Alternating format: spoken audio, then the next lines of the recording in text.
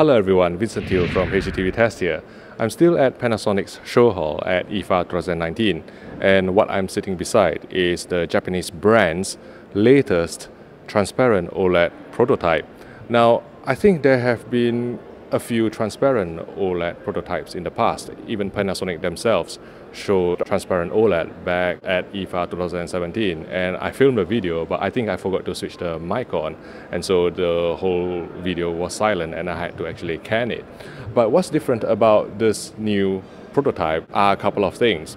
The first is that you can see that the blacks now they can actually reach the sort of black level for any normal television because what Panasonic has done is to add a dimming layer or an LCD shutter layer behind the transparent OLED layer so that when black is required it can be switched on to generate the sort of black that is representative of a television. Now I'm going to try and switch off the dimming layer and you know it involves trying to feel down below and pressing a button something which I'm not really very good at.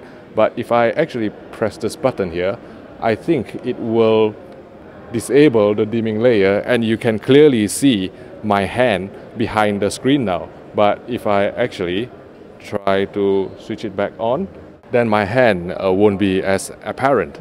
And as you can see the whole display is basically a sheet of glass that is held together by a wooden frame and I think the wooden frame is generally a nice touch. I mean it's not a bad idea to get some wood while you're watching TV, isn't it?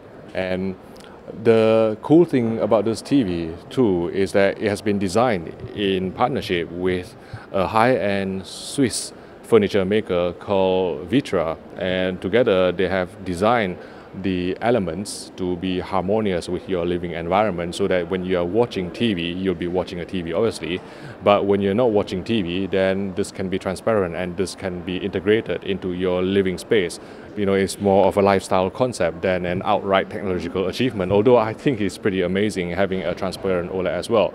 And integrated within the wooden frame as well are the power circuit boards and also all the connections. So as you can see here, the USB port is integrated behind the wooden frame here. You don't need a separate set-top box or you don't need a separate connections box to house all these connections. It's all integrated.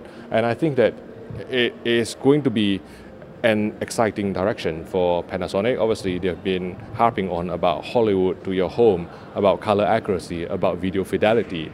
But on another level, they need to consider that there are lifestyle consumers out there who are aspirational, who wish for better products to elevate their living environment. And certainly this can achieve that. And it is not as far off as you think.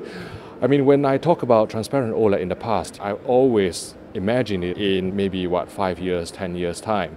But we've been informed that this could actually come to the market as soon as 2020, which is next year, according to a slide during the presentation. And I just can't wait to see what the price is. But this is Vincent Teoh here, reporting from IFA 2019. If you found this video useful, please click the like button and subscribe to the HDTV Test YouTube channel for more videos like this. Thank you for watching and I'll see you in the next video.